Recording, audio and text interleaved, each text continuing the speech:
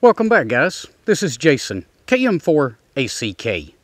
Today, let's take a look at a few different ways to support a mast like this when we're in the field. Stick around and we'll get right to it.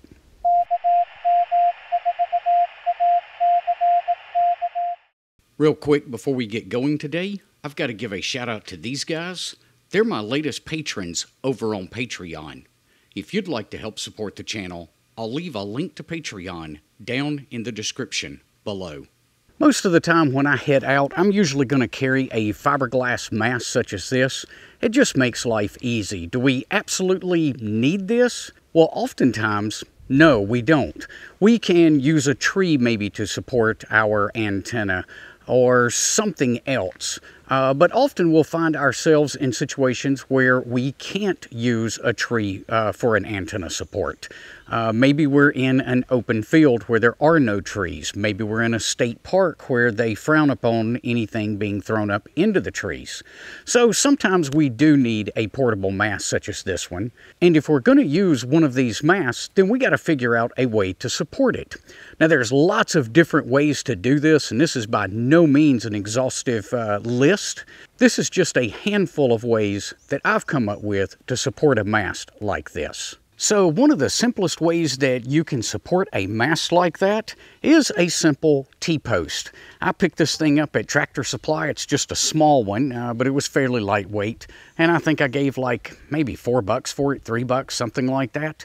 Uh, but we can just drive this into the ground and then use a couple of bungee cords, ball bungees or something along those lines to mate the two of these together. If you get a ball bungee on the bottom and one on the top, it'll typically support this mast with no trouble.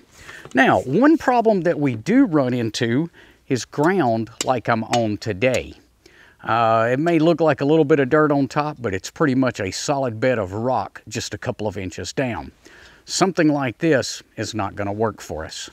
Now this is a piece that I homebrewed at one time and it's designed to go in the receiver of a vehicle in place of a trailer hitch and it works well. It's pretty heavy though and it doesn't pack around very easy. But you can simply insert this into the trailer hitch and drop your mast right down inside of it. Now we've got a super stable support to hold on to our mast. Now there are also some commercial mast supports available, such as this one by TN07, and it's pretty clever in its design. Uh, it's designed to work with their matching devices so that it can slide through the bottom here, and then the mast come through the top. And you can use these in a couple of uh, different ways. This mast support can also be moved out to the very end. We can set that on the ground and then drive up onto the mount. It makes it super quick for getting your mast deployed. Now, one of the ways that I've seen guys do this is they'll take a hose clamp and put it around their mast. And with that hose clamp, they'll use a couple of rings. And then they'll attach some paracord or something similar to those rings.